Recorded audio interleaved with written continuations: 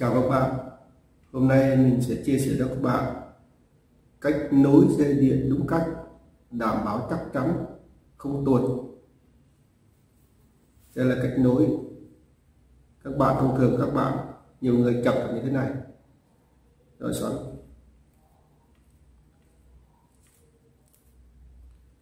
Cách nối này sai thì tuốt dây là tuột này. À, sai.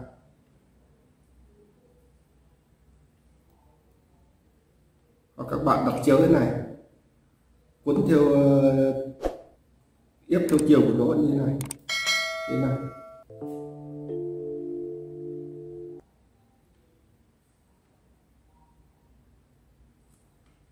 Đấy. cùng sai. Đấy, kéo này. Tuột ngay Đấy.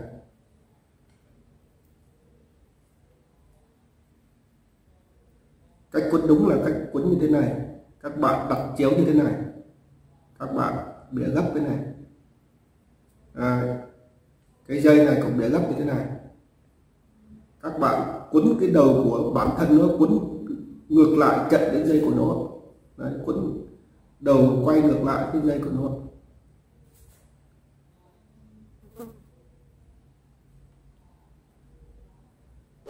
Đấy đầu kia thế quấn ngược lại cái dây của nó.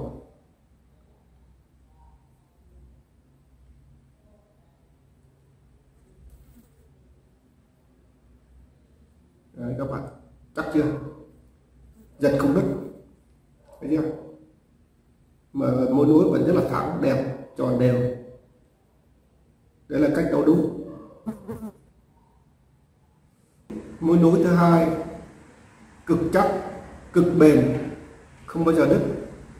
Các bạn nhìn kỹ, đây là một đầu dây kia mình uốn cong lên. Đầu ờ, dây ngược lại, mình uốn cong ngược lại. Hai cái ngược chiều nhau. Đấy, các bạn nhìn kỹ sẽ đấu. Mình ờ, đặt vào, đấy, đặt vào đây. Đặt cái ô, vòng tròn này đặt vào trên dây kia. Rồi đút cái cái đầu dây của kia ngược lại. Để vào trong vào trong vòng tròn này. Đấy. Cái cái đầu dây của vòng tròn ờ, bên bên này cũng, đầu dây ngược lại cũng vào cái vòng tròn bên này. Ngược lại cái vòng tròn của bên ờ, dây điện ờ, bốn nữa còn lại sẽ ôm của cái đầu và dây điện của dây kia. Đấy, mình thấy. Như thế này, cho các bạn kéo vào. Kéo vào. Các bạn vừa kéo vừa chỉnh.